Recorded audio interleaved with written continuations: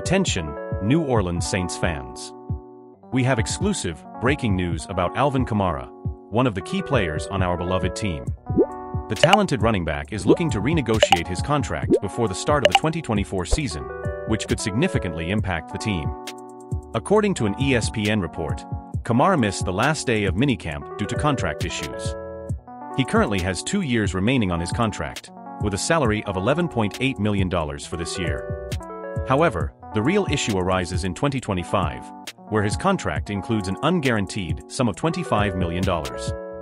This figure, although impressive, is not in the Saints' plans, as they do not intend to pay it, according to analyst Jeremy Fowler.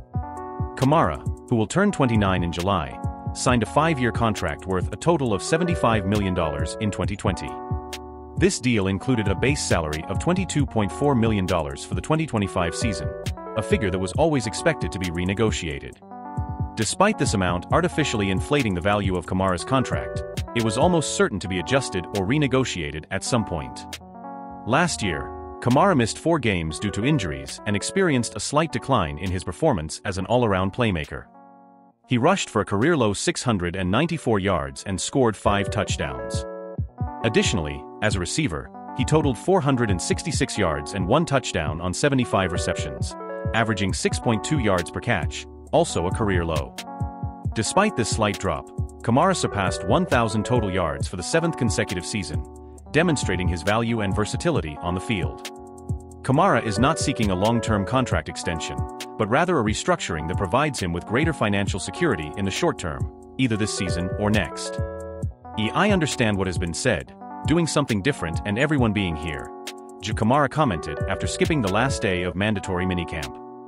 E for me, I just stuck to what I know. I don't think any of my teammates were really offended. I talk to a lot of them almost every day. It is what it is. There are different things pulling from one side to another.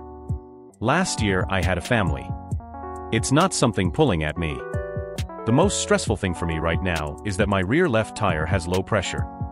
Everything else, I'm fine. I feel great. That's all.